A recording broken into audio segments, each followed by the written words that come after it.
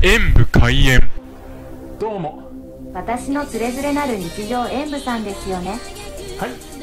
そのいうわけで本日はこちら。こチャンネル登録よろしくお願いします。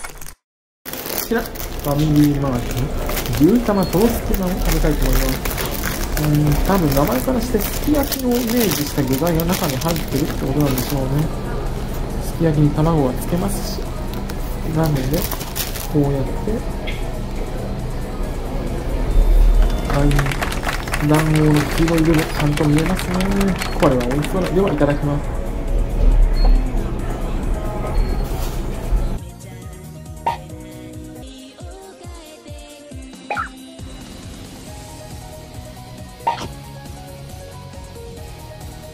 うん確かにお肉の旨味は割り下の味もあったのですが卵が全般的に多すぎてなんか卵つけすぎちゃった。すき焼きを食べてるようなそんな感じでしたね。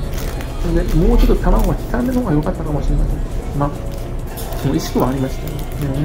もうちょっとお肉と割り下の旨味が欲しかったなということでこちらも点数とさせていただきます。ご視聴ありがとうございました。コメントしていただけると嬉しいです。演武終了